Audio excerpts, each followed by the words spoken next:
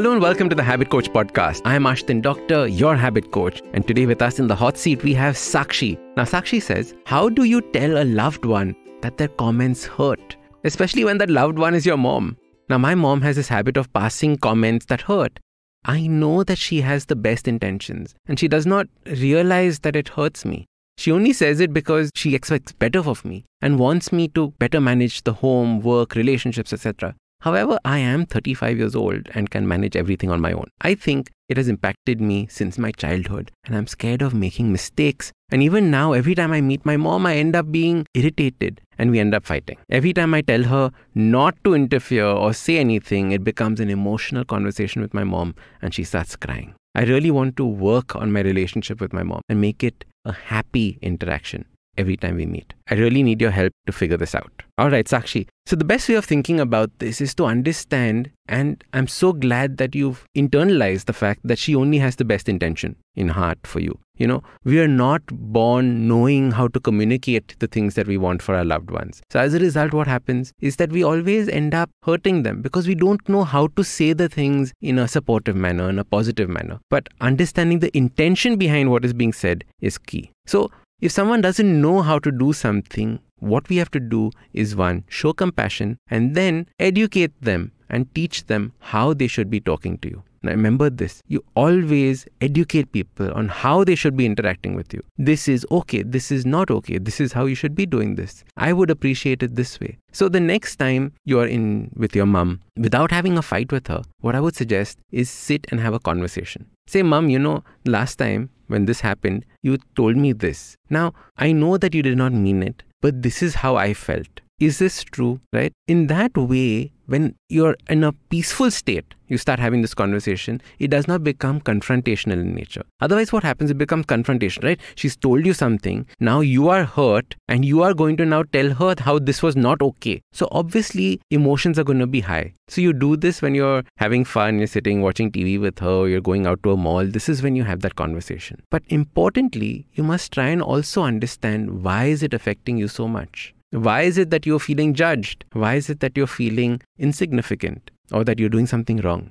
The key is that you don't need to justify what you're doing to anybody, right? Very often, how parents ask you these questions, they say, Tell me why you did this, right? Anytime somebody asks you for a why, it means that now you have to justify yourself. It means that now you have to give a reason for what you did, right? But very often you don't know, you don't have a reason, you don't need a reason. Instead, what you should do is you should ask your mom, saying, Okay, mama, you find, you said that this is not the way that it should be. Tell me what I should be doing instead, right? If it makes sense, of course I'll do it. If it doesn't make sense, we'll have another discussion about it. But the idea is to keep these kinds of channels open if you immediately get hurt when someone tells you something, these channels will not be open. If you're immediately justifying yourself, that means that instantly in that question itself, it feels that you've done something wrong. Why did you leave the glass out is already an accusation in itself, right? So understanding that why questions technically are accusatory in nature. So the next time she asks you a why question, which is going to force you into, you know, judgment and uh,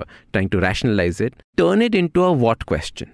So why did you leave this glass out? Okay, what should I have done with it instead? So, what you've done is you've taken that why question and you've disarmed it by asking her what you should have done. Now, it's completely up to you whether you do it or not after that, right? You are in charge of your actions. Like you said, you're 35 years old. You know what you can do and you can't do.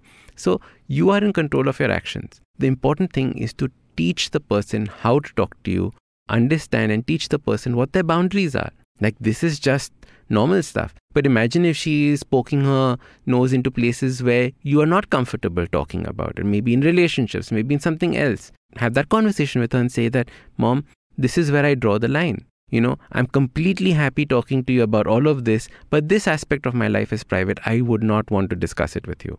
Right? She might say, No, no, no, how can this be? Listen to her peacefully, but be firm in your decision. If you're not firm in your decision and if you're not drawn that boundary, this problem will keep appearing over and over and over again. And like you said, every time she says something, she's meaning it out of good intention. However, it is our reaction that is turning it into a fight.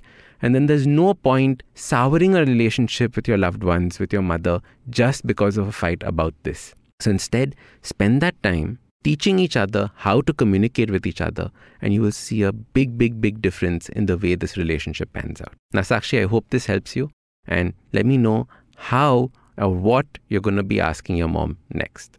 All right. If you want to be featured on the next Hot Seat episode, click on the link below and give me a nice, juicy description about what you're going through, and I'm going to try and answer it here on the Habit Coach podcast. Now, if you like this podcast, don't forget to check out other interesting podcasts on the IVM network. You can listen to us on the IVM Podcast app or ivmpodcast.com. You can also follow us on social media. We are at IVM Podcast on Twitter and Instagram. If you want to reach out to me, I am at Ashdin Doc on Twitter and Instagram. We have a brand new habit coaching online course, quizzes, videos, and a lot more on the website awesome180.com. So check it out now.